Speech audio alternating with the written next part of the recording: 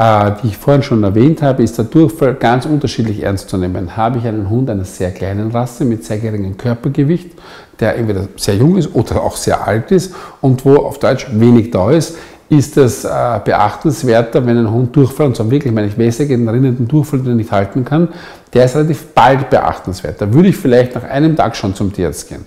Habe ich einen Rottweiler mit 55 Kilo, der vor Kraft und Energie strotzt und ein bisschen einen breigen Stuhl hat, kann ich auch drei Tage mit Hausmitteln, ich werde dann nachher erzählen, was ich für Hausmittel halte, auch noch zuwarten und erst nach zwei, drei, vier Tagen zum Tierarzt gehen. Allerdings, wenn das nicht aufhört, würde ich schon behandeln oder untersuchen lassen, was es ist.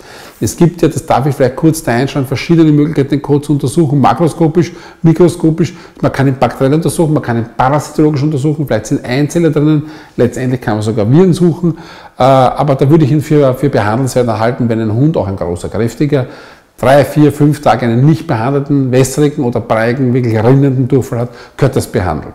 Wenn der Durchfall einen Tag, äh, wenn der Stuhl einen Tag breig ist oder die Konsistenz vermindert oder zwei Tage, würde ich mal gar nichts denken und zuwarten. Ja.